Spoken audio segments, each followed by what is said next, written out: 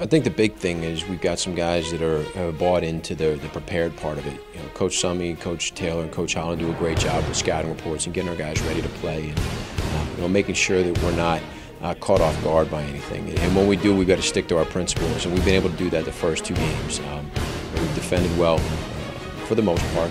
We, have rebounded well, and um, offensively, I think we've executed at a level that has allowed us to you know, to be in those games. And, as we as we move forward, we got to make sure that we continue to execute, continue to do the little things well. Because um, I think a lot of a lot of times you get caught up on the end result, the score, and that's important. Obviously, you want to have uh, more points than the opponent, but we've challenged our guys to challenged our guys to uh, you know to, to do the little things really well. And I think in those times when you can do that, it makes uh, makes preparing for a game a lot easier. Anytime you go on the road, you got to make sure that you limit your mistakes and uh, play to your strengths.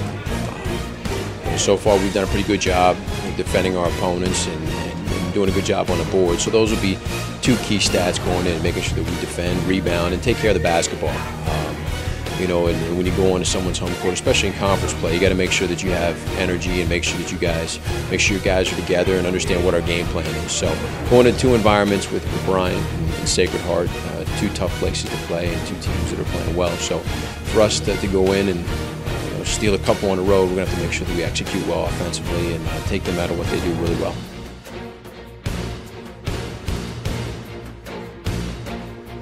Uh, it's a big weekend for us. Um, going to Bryant and Sacred Heart. Um, first game at Bryant is going to be a tough one. We uh, beat them in the, the, tournament last year, our first tournament win in uh, a long time. So they're, they're going to have a chip on their shoulder coming into this game, and it's going to be a challenge for us. And then Sacred Heart's a good team. They're a surprising group in the league. So going to Sacred Heart, it's always going to be a tough game. Uh, they're young. They're uh, going to challenge us, and they're going to come out and give us their best shot.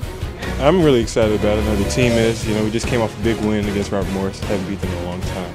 So, um, you know, I just think we got to take it one game at a time. You know, don't just look at it as a whole weekend, just one game, and then uh, just take it from there.